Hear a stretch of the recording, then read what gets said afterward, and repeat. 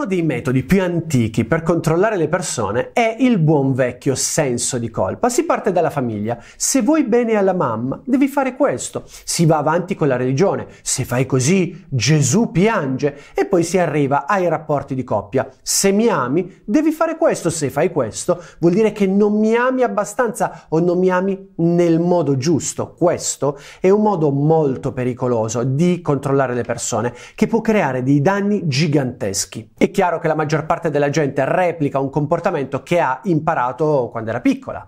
Noi replichiamo con gli altri i modi che abbiamo imparato in famiglia, principalmente di essere trattati, ma questo non esime né noi né gli altri da delle responsabilità. Quindi, se vi rendete conto all'interno di un rapporto di sentirvi all'improvviso pervasi dal senso di colpa, beh, probabilmente qualcuno lo sta utilizzando più o meno volontariamente per controllarvi. Allora la strategia deve essere molto chiara. Patti chiari, amicizia lunga. Con me questa cosa non funziona. Non mi piace, non mi piacciono i giochi psicologici e se la strategia continua, molto spesso l'unica cosa da fare è darsi a gambe levate.